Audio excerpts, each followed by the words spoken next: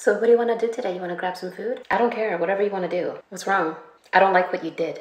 What did I do? I don't like what you posted on TikTok. What?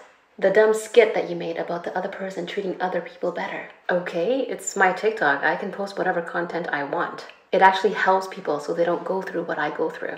Yeah, well, people are gonna know it's about me because you told other people about how I treated other people better before. So you want me to tolerate you and put up with your abuse, protect your image, and stop creating content for my TikTok. I don't care what you post, just don't talk about me. First of all, I never mentioned your name. Second of all, I make skits based on what I went through. If people want to automatically assume it's you, that's not my problem. And if you were never wrong like you say, why are you so worried about it? I don't care, just don't post about me. You're not gonna stop me from creating content for my TikTok followers. You don't run me anymore.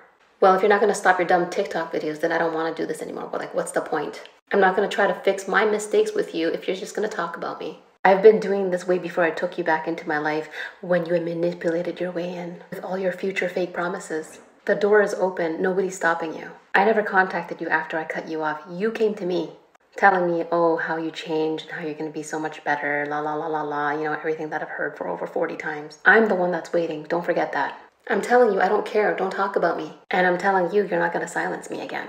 I'm definitely not the same person you walked all over. I don't care. Like, I don't want to talk about it anymore. Leave me alone. I know it's frustrating that your tactics are not working. I'm still going to create my TikToks because it's for my followers and because it helps me to remember what I went through as a survivor.